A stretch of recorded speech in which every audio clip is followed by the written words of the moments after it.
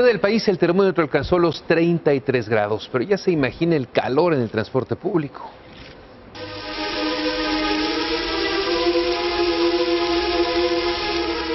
A las 11 de la mañana en la Ciudad de México el termómetro llegó a los 32 grados y las personas que trabajan en vía pública comenzaban a resentir el aumento en la temperatura.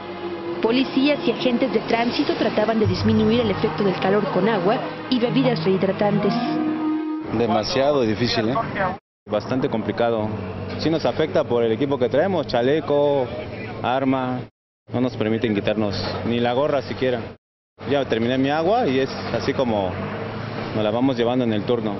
A la una de la tarde el termómetro marcaba ya más de 33 grados al sol y el trabajo en calle comenzaba a ser más complicado para mensajeros, vendedores y acomodadores de autos. Pues bien difícil porque pues si te acaloras todo, sudas y sudas, sudas, pero tienes que traer agua porque si no también el sol luego te da insolación, te mareas, hasta te llega a dar sueño en la moto. Vestir traje aumentaba la sensación de temperatura. Es complicado, la verdad, no te voy a mentir, pero cuando la chamba te lo requiere, hay que cumplir ante todo. A la hora de la comida sufres caminando y todo, pero no pasa nada. Estamos pasando justamente en, en, la época en la que más calor se presenta en la Ciudad de México. Todavía no se supera los registros históricos que tenemos de superiores casi a 34 grados centígrados. A las 3 de la tarde el pavimento de la Ciudad de México literalmente quemaba.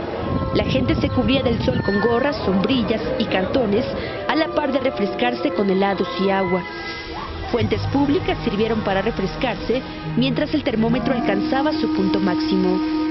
Y adentro de los microbuses y peceros, el termómetro alcanzó los 41 grados a las 4 de la tarde.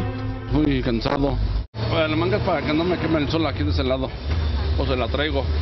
¿no? Y el calor que está haciendo está bien fuerte. Protección Civil recomienda evitar la exposición al sol en las horas de mayor radiación y beber abundantes líquidos para evitar golpes de calor.